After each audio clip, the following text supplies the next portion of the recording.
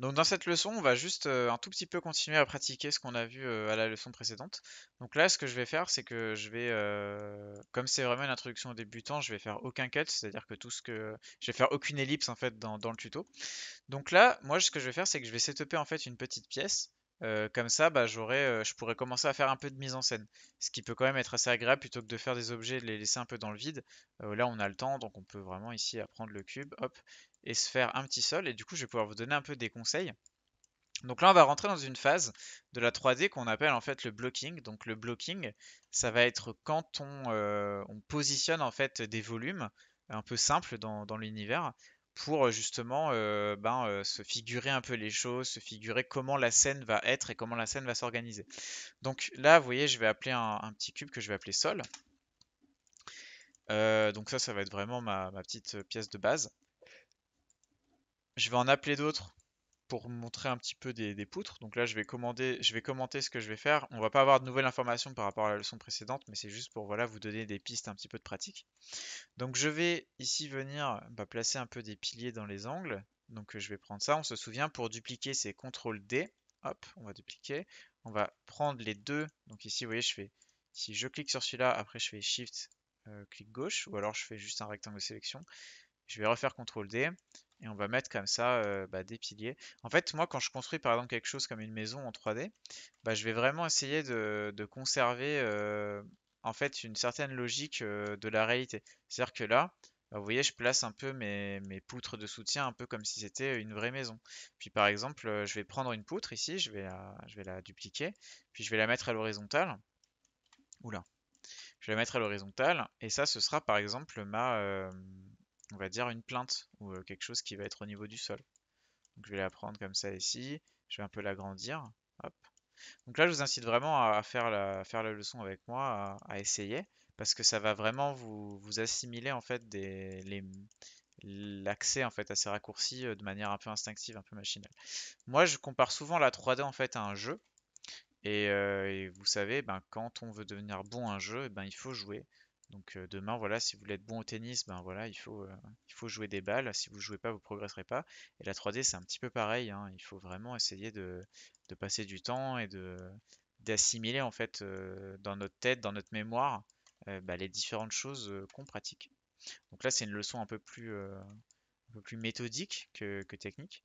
Mais je vais toujours essayer comme ça de, vous mettre un peu de, méthode en fait dans, ce qu'on fait et de pas juste bah voilà vous, vous, euh, vous donner des astuces techniques parce que la, ce qu'on fait quand même, la 3D, ça reste une discipline, on va dire, artistique. Et du coup, ben, dans l'art, la méthode est aussi importante que la technique. Euh, ce qu'on va pouvoir apprendre dans cette leçon, qui est intéressant, c'est peut-être être à mettre des petites couleurs sur ce qu'on est en train de faire, parce que là actuellement on fait tout en gris, et donc c'est pas forcément euh, ce qui est le plus pratique en termes de lisibilité. Donc ce qu'on va venir faire, c'est qu'on va venir ici ouvrir un nouveau menu qu'on n'avait pas vu qui s'appelle l'Hypershade. Donc je vais cliquer ici sur Hypershade Window, donc je vais faire un clic gauche. Et vous avez cette fenêtre qui va s'ouvrir, euh, qui peut faire un peu peur, mais en vrai elle est, quand même assez simple et elle est, surtout très bien faite sur Maya comparé à d'autres logiciels. Et donc, en fait, vous allez avoir ici une, sorte de table au milieu. Euh, et du coup, bah, dans cette table, vous allez pouvoir appeler ce qu'on appelle des matériaux. Et donc, ces matériaux, vous allez les appliquer en fait sur les géométries. Donc là, actuellement, les géométries, elles ont tout un matériau qui s'appelle Lambert 1. Et vous voyez, Lambert 1, bah, il est gris et euh, il n'est pas très intéressant. Donc euh, nous, ce qu'on va faire, c'est qu'on va venir ici dans notre petite interface de l'Hypershade et on va appuyer sur Tab. Et quand on, aura appuyé sur Tab, on va venir chercher Lambert. Donc pourquoi Lambert hein, C'est un nom hein, qui, fait un peu rire euh, à mes élèves quand, je le dis la première fois. Mais en gros, Lambert, c'est un, schéma en fait euh, de base euh, qui est dans beaucoup de logiciels et que vous allez retrouver en fait, c'est une, famille de matériaux des matériaux de base comme ça, il y en a plusieurs. Il y a le Lambert, il y a le Blin, il y a le Fong. Dans un cours un peu plus avancé sur les matériaux, on apprendra peut-être un peu à les connaître, peut-être leur histoire et voir un peu ce qui existe en 3D. Donc ici Lambert, on va avoir euh, ben, tout simplement euh, bah, la possibilité de le renommer. Donc moi je vais l'appeler par exemple bois ou wood. Euh, donc wood ici pour bois. Et vous voyez qu'ici, ce Lambert, quand je clique dessus, il a une propriété qui s'appelle color. Et donc color, je vais pouvoir ici la, modifier, la faire évoluer, et donc euh, lui assigner une couleur qui sera euh, bah, celle que j'ai choisie, hein, tout simplement. Donc là, hop, on va se mettre un petit truc un peu marron. Et donc du coup, après bois, bah, si je clique sur n'importe quel objet, je peux juste faire clic droit, donc maintenir mon clic droit enfoncé. C'est un menu qu'on n'a pas vu encore, mais qui s'appelle le marking menu dans Maya. Et du coup, dans ce marking menu, bah, on peut venir ici, Assign Existing Material, Wood. Donc, euh, vous voyez, là, je peux commencer à assigner un peu des couleurs dans ma scène, et ce qui va m'aider quand même à lire. Donc, moi, ce que je vais faire, c'est que je vais tout prendre. Hop, ici. Voilà. Et je vais faire clic droit, Assign Wood. Tac. Donc là, j'en ai raté un. Donc là, c'est tout marron mais au moins c'est euh, au moins c'est ce n'est plus gris. Euh, et du coup, ce que je vais faire, c'est que je vais venir ici dans mon dans mon hypershade et je vous conseille de faire la même chose pour la suite de la leçon. En fait, on va s'en créer d'autres. Donc on va, on va réimporter un Lambert. Donc tab, on tape Lambert, hop ici, et on vient euh, on vient ici lui mettre une couleur. Lui, je vais l'appeler blanc. On va, on va mélanger l'anglais et le français parce que finalement pourquoi pas. On va mettre ici on va noir, tac. Voilà, on va le mettre un peu plus sombre. On va se mettre euh, par exemple un lambert rouge. Je vais en faire comme ça pour, euh, délimiter un peu des zones et tout. Euh. comme ça on pourra, on pourra définir au mieux nos formes et nos objets. Je vais en faire un bleu. On va pas passer 8 ans dessus non plus, mais au moins c'est au moins c'est fait. Hop là un petit bleu. On va avoir euh, qu'est-ce que je peux faire? Au pire, j'en ferai euh, sur le moment quand j'en aurai besoin, mais on va avoir un, verre. Alors pour ceux qui se poseraient la question, euh, ces, petites boîtes ici, elles sont en deux parties. Il y a d'un côté le matériau ici, vous voyez, qui s'appelle verre, et il y a d'un côté, le, en bleu, là, il y a marqué Lambert 7 SG. Donc on se demande un peu ce que c'est. En fait, le shading group, c'est tout simplement une, c'est l'information en fait de, en fait, les objets quand on leur met un matériau, par exemple si je prends ici mon sol et que je fais clic droit et que je lui mets le, matériau blanc, bah, en fait je vais assigner le shading group blanc et c'est pour ça qu'il est devenu blanc. Parce qu'en fait il, euh, réceptionne le shading group qu'on lui assigne en fait ici. Et vous voyez ces shading group ils ont conservé le nom qu'ils avaient au moment où on les a créés, donc on pourra le changer hein, si, ça, nous titille. Mais euh, bon ce qui compte ça reste quand même le nom des matériaux. Donc, euh, du coup, ce qui est bien, c'est que par exemple, euh, si on a, vous voyez ici, j'ai plein d'objets qui ont le shading group euh, du coup marron ou bois. Et donc, du coup, si à un moment, par exemple, je remplace, par exemple, voyez, le shading group de wood, enfin, wood va dans le Lambert 2 SG, bah, si à la place, par exemple, j'envoie ici out, j'envoie red, hop, en fait, ce qui se passe, c'est que maintenant, tous ceux qui étaient wood, et eh ben, ils sont devenus red. Parce que justement, ils ont réceptionné le shading group red.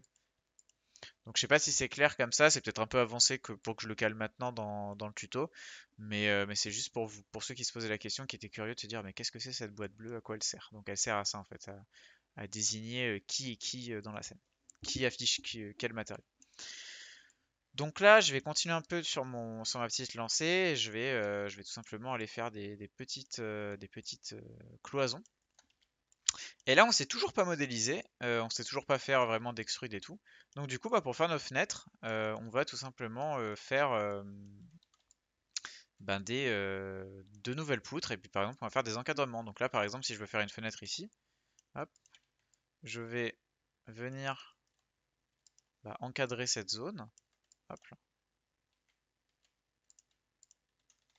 Un peu comme dans la réalité en fait, un charpentier, il, il positionnerait un peu d'abord, euh, quand vous faites une fenêtre, vous posez d'abord, on va dire, euh, euh, bah, l'encadrure, l'encadrement plutôt, c'est peut-être plus juste de dire l'encadrement. Et une fois que l'encadrement est placé, bah, vous venez mettre en fait bah, du plâtre ou du placo là où il n'y a pas d'encadrement. Donc là, si je veux, hein, pour que ce soit un peu plus visible, je peux le faire volontairement le scale pour qu'il ressorte. Et du coup, je vais laisser volontairement un espace vide comme ça, bah, je pourrais avoir euh, bah, mon mur euh, qui, est, qui est placé. Enfin, mon mur, ma fenêtre, pardon, qui, euh, qui se dessine. Ça ne nous empêchera pas après de venir carrément mettre une petite vitre. Mais au moins, vous comprenez le principe. Et donc là, déjà en sachant faire ça, bah, je vais pouvoir faire des fenêtres, des portes. Et surtout, ce qui est sympathique dans ce système, c'est que là, j'ai quelque chose qui est modulaire. Donc modulaire, ça veut dire que si par exemple, bah, je veux un autre mur fenêtré à un autre endroit de ma scène, bah, ici je peux venir récupérer les blocs qui constituent ben, cette fenêtre, les dupliquer, donc CTRL D pour dupliquer, et venir les mettre ailleurs. Donc là, vous voyez, malheureusement, quand je les fais pivoter, ils sont, désolidarisés les uns des autres. Pas de panique, on peut soit les combiner, ici, pour qu'il fasse qu'une seule pièce et du coup qu'on puisse les déplacer. Soit tout simplement, un autre raccourci que je vous ai pas montré, c'est en fait, vous voyez là on a plusieurs objets qui sont sélectionnés. Si j'appuie sur la touche CTRL G, ça va les grouper. Donc les grouper, par exemple, je vais l'appeler ce groupe bloc fenêtre. Donc là j'ai groupé mes objets qui du coup maintenant sont en bloc fenêtre. Donc si vous voyez, si je déroule le groupe, tous les objets qui étaient là, et, ben, ils le sont toujours. Et du coup, je vais pouvoir, euh, ben, par exemple, venir euh, centrer. Vous voyez, actuellement, là, le problème, c'est que le, pivot de, mon petit bloc, ben, il n'est pas au centre. Par contre, vous voyez que maintenant, quand je fais des rotations et tout, ben, le, groupe agit euh, en étant solidaire. Donc les objets, ils restent, ils restent dans la même position les uns par rapport aux autres. Donc moi, je vais juste cliquer sur ce petit bouton ici, qui est en fait un center pivot, et qui remet le pivot au centre. Vous voyez, vous cliquez là, ça remet le pivot au centre. On peut aussi le trouver dans Modify Center Pivot. Et du coup, ben là, je peux voilà, je peux déplacer euh, l'orientation de ma fenêtre et la mettre peut-être à un autre endroit. Donc le modulaire, c'est vraiment extrêmement pratique parce que ça permet d'aller très très vite quand vous construisez. Et donc bah, moi, je vous conseille un maximum d'utiliser ce genre de technique. C'est-à-dire que même quand vous, euh, même si vous savez déjà modéliser, faire des, voilà, des belles extrudes, euh, vraiment des, manipuler un peu de la géométrie, ça vous empêche pas de toujours rester en fait au final au plus simple parce que c'est c'est ce qui fonctionne souvent, euh, c'est facilement manipulable. Genre là, bah, je veux dire, si je veux interchanger, par exemple là, si j'ai une cloison ici, si je veux interchanger et que je veux maintenant que le mur, il soit, la fenêtre, elle soit euh, ici, donc au milieu, et pas à droite, bah, je veux dire, euh, je peux prendre mon, mur ici, le déplacer, prendre mon groupe, le déplacer, reprendre mon mur et l'interchanger.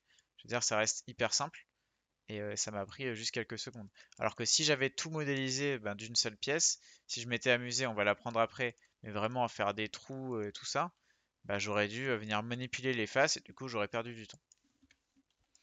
Donc du coup ça, reste quand même une, méthode assez, cool. Donc là bah, je vais continuer hein, sur, l'atelier, donc je vais faire ma petite pièce. Tac. On va faire une, une porte. Donc la porte, pour la modéliser, je vais, je pense que je vais utiliser comme ça, je vais faire peut-être une porte un peu asiatique. Je vais faire carrément une, euh, encochure en fait. Hein. Je vais pas, je vais pas forcément faire un truc qui coulisse et tout. Je vais juste faire une entrée euh, un peu vide. Comme quoi, vous voyez, juste avec des cubes, on peut déjà aller, euh, aller faire des choses qui sont intéressantes. Puis à l'intérieur, on va peut-être commencer à s'occuper un petit peu de, choses un peu plus intéressantes. C'est-à-dire que là, j'ai un, sol qui est totalement plat. Je vais pouvoir peut-être le dupliquer, donc CTRL D, venir le mettre avec l'outil échelle venir essayer par exemple de faire un, ici un dénivelé. Euh, tac, comme ça, ça, ça donne un peu de substance à, mon, à ma scène. Vous voyez, moi je vous incite fortement à rester euh, sur des choses euh, où vous intégrez un petit peu de verticalité ou pas, de pas rester en fait systématiquement sur des choses qui sont plates. C'est-à-dire que même dans une pièce qui est totalement carrée, bah, vous pouvez mettre un petit peu de, un petit peu de, forme, un petit peu de piment. Alors le piment c'est pas vraiment le bon terme, mais, mais voilà quoi, au moins on a des choses qui sont moins linéaires. Puis je vais pouvoir commencer, pourquoi pas, à placer ben, les objets qu'on a créés tout à l'heure. Alors on va leur mettre des, matériaux ici. Donc ma, mon étagère. Je vais laisser volontairement un mur comme ça ouvert. Comme ça on peut voir au travers facilement. Alors raccourci utile dans Maya, quand vous cliquez sur un objet ici, vous pouvez juste appuyer sur H et en fait il disparaît. H pour hide. En anglais, hide c'est se cacher, se dissimuler. Donc vous voyez que quand je cache un objet, en fait ici, dans pcube33, bah, il devient invisible. Donc euh, ça c'est vraiment extrêmement pratique quand, vous voulez, euh, bah là par exemple, admettons je vois pas ce que je fais, je peux cacher les, poteaux et les réafficher plus tard. Donc ça c'est vraiment bien. Euh, puis je vais, je vais continuer. Hein. On va ici un peu mettre en scène. Tac. Voilà, se mettre par exemple une, pourquoi pas une petite table.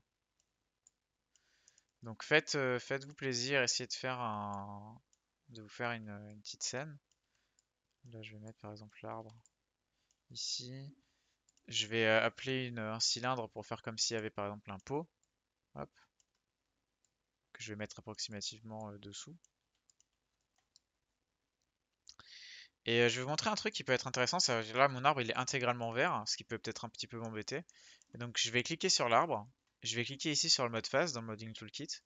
On va avoir la première édition un peu polygone. Donc, je vais juste double-cliquer, vous voyez ici sur le tronc. Donc ça le sélectionne parce qu'en fait, c'est un, vous voyez, c'est un, un, élément qui, les points en fait qui composent le tronc, ils sont pas fusionnés avec les points qui composent euh, ben, les feuilles. Donc du coup, ben, quand je double-clique, je peux sélectionner le bloc en lui-même. Donc je peux sélectionner le bloc et du coup assigner à juste ce bloc là, par exemple, euh, ben, la matière wood. Donc ça reste, ça reste très instinctif et très très simple. Hop. Je peux peut-être dire que ça c'est des petites lanternes et, venir les placer du coup dans les petits coins ici de la scène dans les différents coins. Peut-être que l'armoire là, je vais, euh, je vais la déplacer un petit peu. On va pouvoir créer par exemple des cubes ici et venir les mettre euh,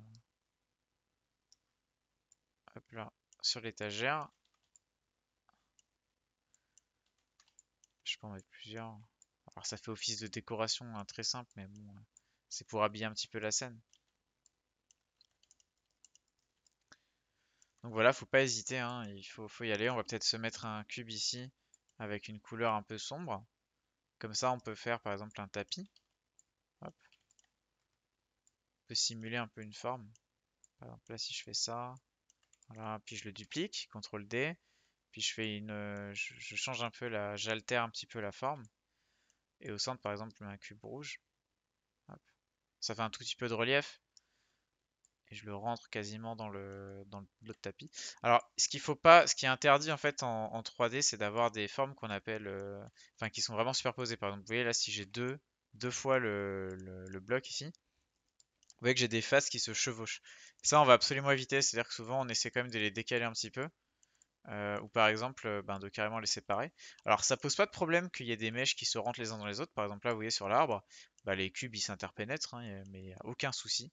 Euh, mais par contre on va, on va souvent essayer d'éviter ben, voilà, justement que deux objets, là par exemple j'ai dupliqué l'arbre, bah, là on a la même situation que tout à l'heure avec les tapis, donc on a les feuilles qui se superposent, et ça ça va créer des anomalies parce qu'en fait une face elle est affichée d'un côté, et du coup, ben, euh, s'il y a deux faces qui partagent euh, la même orientation, le ne saura pas s'il doit afficher par exemple euh, la face, celle-là comme étant devant l'autre. Enfin, il ne sait pas laquelle est devant, laquelle est derrière, et du coup, ça peut créer des bugs. On va voir ça aussi, vous verrez quand on commencera à faire des extrudes. On peut avoir des anomalies noires comme ça quand on fait des erreurs, qui en fait sont des faces qui, qui partagent le même espace et du coup le logiciel sait pas comment les afficher quoi. Parce que c'est un peu c'est quelque chose d'impossible quoi. Je veux dire dans la vraie vie vous pouvez pas avoir des objets qui sont parfaitement superposés. Euh, ils sont faits d'atomes et du coup ben, ils, se, ils, se, repoussent entre guillemets quoi. C'est pas possible que tout soit tout soit vraiment superposé. Donc, euh, donc du coup ben, même en 3D on fait un petit peu attention à ça pour, pour, avoir, pour éviter d'avoir des bugs ou des anomalies visuelles dans nos scènes quand on fait des images. Hop, je vais aller sur du blanc. Ici, je pense qu'on va continuer encore quelques minutes. Hein, euh, on va arriver presque à 20 minutes sur cette leçon. Et après, on va, passer à la suite. On va commencer un petit peu justement à, manipuler des, choses plus précises avec des extrudes. Je vais faire une petite chaise. Hop. Donc, euh, voilà. On va la placer. J'ai pas intégralement meublé, mais bon, c'est pas, pas forcément utile qu'on fasse tout de A à Z. Là, le but c'est surtout de, se familiariser un petit peu avec le avec l'outil. Donc on va se faire un petit tabouret. CTRL D pour dupliquer. Je fais un pied que je mets par exemple sur, sur les côtés. Ici. Voilà. Un pied ici, un pied là,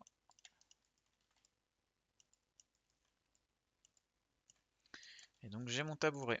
Et du coup, on va conclure cette leçon euh, là-dessus euh, et, on va passer un peu à la suite. On va réussir à avancer dans la formation. Je vais combiner, comme ça c'est un seul bloc. Donc combine ici. Et on le duplique. J'ai dupliqué le tapis aussi parce que je l'aime bien.